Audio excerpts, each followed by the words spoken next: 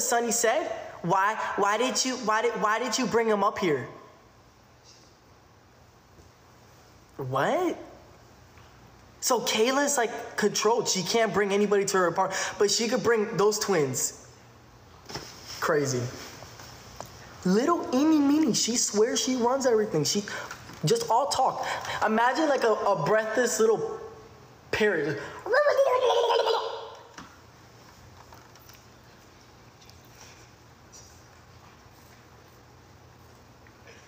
Unbelievable. Unbelievable. She said she could bring one of those twins, but when Kayla brought me upstairs, she had a big problem with it.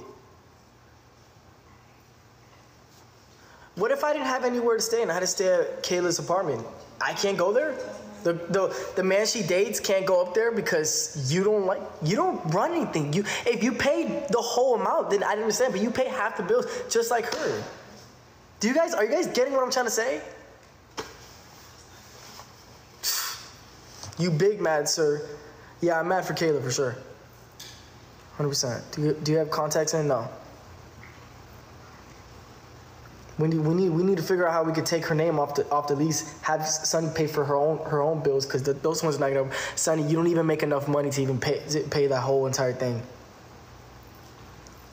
You don't you, you don't have you don't have enough money. You literally don't have enough money. Guess who has enough money?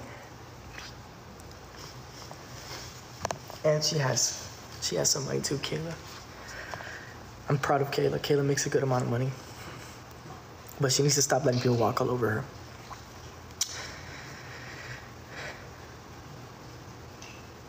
I'm proud of Kayla, but I think uh, I, I've had this conversation with Kayla a couple times.